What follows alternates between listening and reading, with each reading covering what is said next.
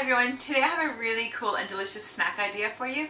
It's vegetable crisps or vegetable chips depending where in the world you are. These are delicious and really simple to put together. All you need is an assortment of vegetables. Today I have parsnips and I also have sweet potato but you can also use beetroot and carrots. And I kind of wish I had some of those now because the beetroot especially would be really nice. Then you need some salt and some coconut oil. That's it, really simple. What you're going to do is take your um, vegetable and I'm using just the other side of the cheese grater. You can see I've already done some. Um, so you get these nice thin slices. Now I saw online there's something called a mandolin or mandoline. You know I'm no kitchen or cook expert but it's specifically for slicing vegetables really thin and I think I might just invest in one of those because I really enjoy enjoy these. So all you're going to do is take the vegetable I haven't peeled it. I just washed them really well. The peels are really good for you as well. So I'm just going to do a few slices here to show you. And you can see they literally they turn out paper thin and that's the key to getting it crispy. If you're going to um, try and do this with the knife it might not quite work as well. You might not get them as crispy. Okay so I've already done quite a few ahead and I all I did was simply put the parsnips and the sweet potato in together into a glass bowl.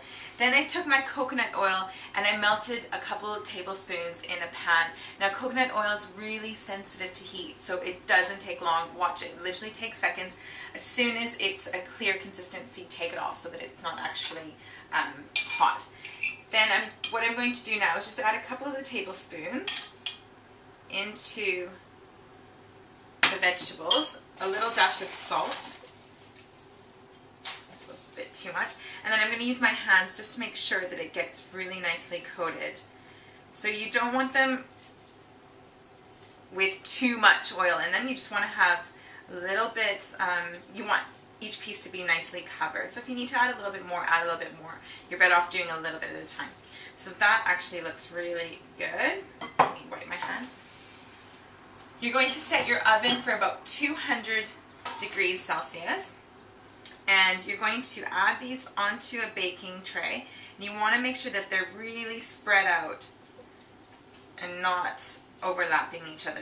They'll overlap a little bit, especially if you've used the cheese grater like I have because you get all these kind of awkward little pieces. That's okay, but the point is just to not have big chunks of them together.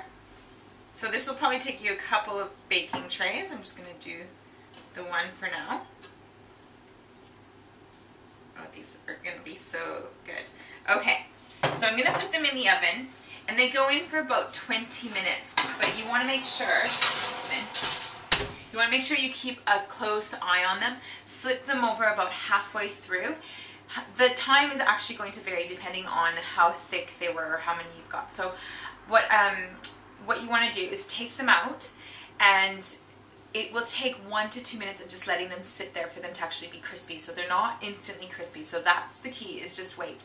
If they're not crispy after a couple of minutes, then just pop them back in for another few minutes. But you'll get the hang of it. They're definitely worth the effort. They're so um, delicious. And like I said, a great snack if you're watching a DVD or you just want to give yourself a nice little treat and another way of getting those veggies in. So really enjoy this one.